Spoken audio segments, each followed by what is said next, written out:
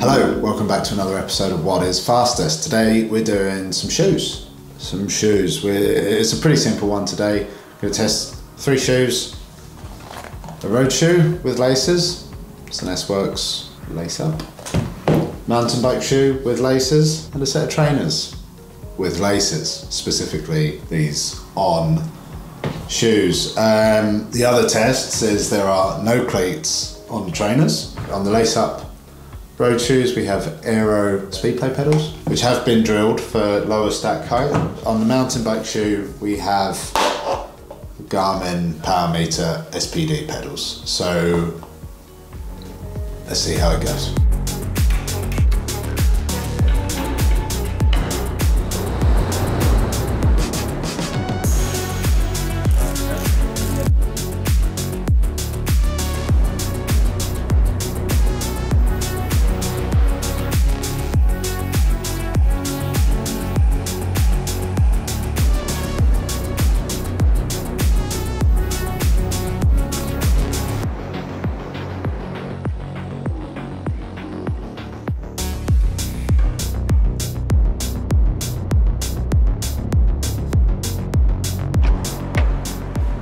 Big games.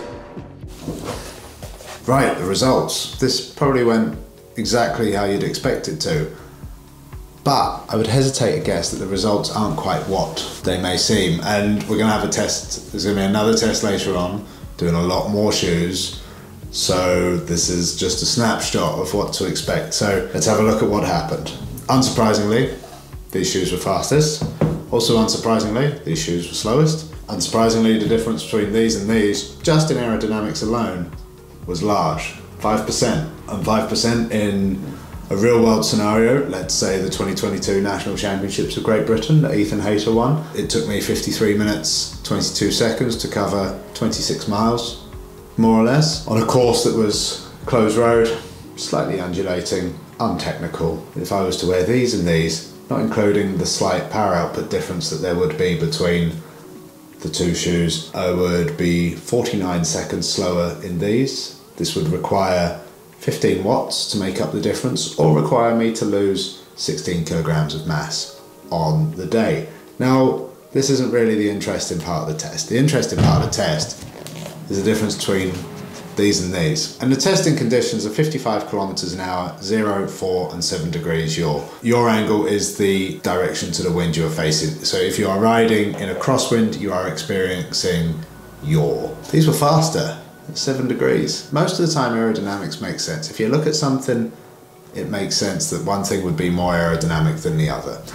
A Formula One car is more aerodynamic than a bus. Those are things that you can look at and be, that is obviously more aerodynamic than the other.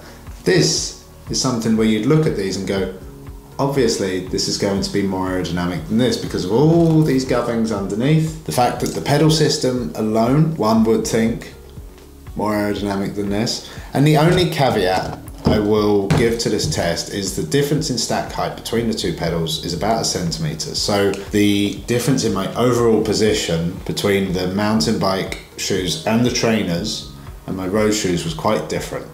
Which then begs the question what happens if I lower my saddle height with the road shoes? Like I said, the differences were small. It was less than 1% on average across the three. Yours, uh, less than 1%. It's less than 10 seconds over the national time trial championships, less than 4 watts, and less than 3 kilograms of mass difference. So there you have it. This is faster than this, but not by as much as you'd think. See you next time.